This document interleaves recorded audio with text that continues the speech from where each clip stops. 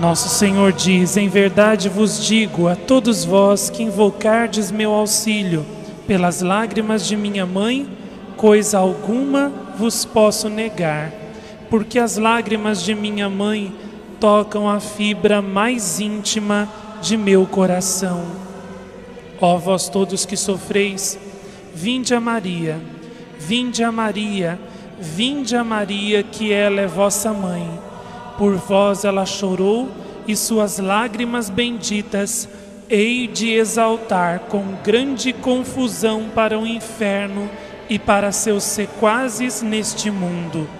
Hei de exaltar, hei de exaltar as lágrimas de Maria, custe o que custar.